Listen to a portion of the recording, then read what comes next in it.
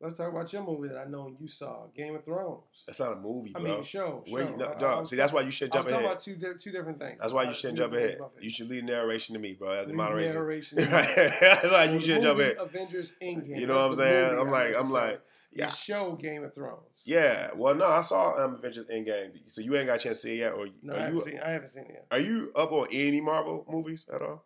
Uh, yeah, I'm up on all the Marvel movies except for this one. So, oh, yo, so you do? Yeah, I watch Marvel movies. I Okay, you know what's Marvel dog? Cause I ain't gonna front, dog. It's hard to tell with you, bro. Cause sometimes the most popular stuff you be like looking at me clueless. So sometimes No, I gotta walk. Just because I don't like Game of Thrones. No, bro. There's been other stuff I've asked you about. You you looked at me Game like you ain't know what the hell I was talking about. Okay, so are you interested? Did you see Infinity War? No, I didn't see it. How, Bray? Well, I might have seen it. I might have seen So, it. dog, there's no way where you might have seen it. You would have known you saw Infinity War, bro.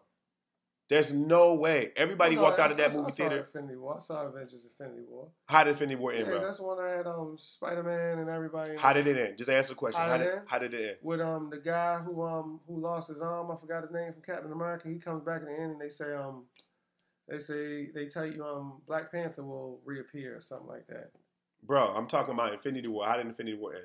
I just told you. No, you didn't. You said guy lost arm and then something, something, something. Look, man, I can't remember. You got me on the spot. Because you ain't see it. I did see You, it. you did not see it I at all. saw it. You did not see it at all. Because everybody knows how Infinity War I ended. saw you can go ask a bum off the street and they can tell you how Infinity War ended. Saw it. No. First of all, as far as an Endgame, anybody ever saw Endgame? So here's what I will tell you. So I saw Endgame um, twice, and in both theaters there were people in there sobbing, like legit crying. Because the thing about Endgame is that people have been waiting ten years for this type of movie. Ten years. Where Like, everybody dies. uh, I mean, well, everybody pretty much died in the last one, technically. But people have been waiting 10 years. And it was just a great, it gave you closure.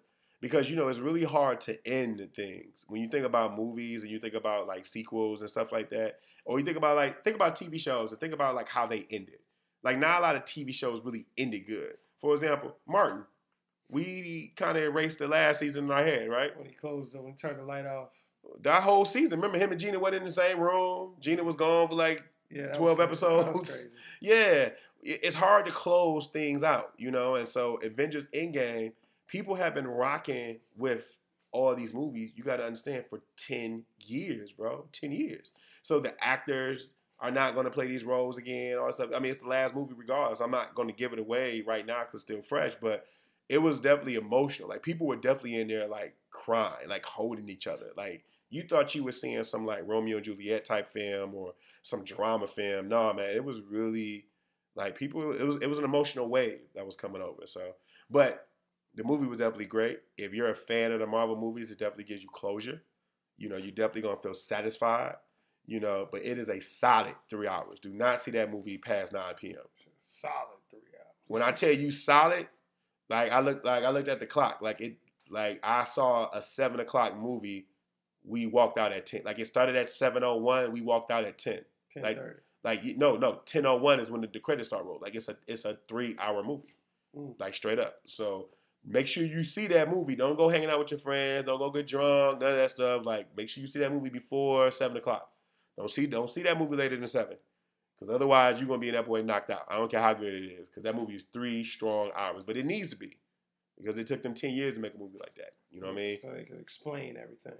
Um, so they can explain everything, and also they literally took a piece from all of the movies. I mean, it's been over like 25 movies.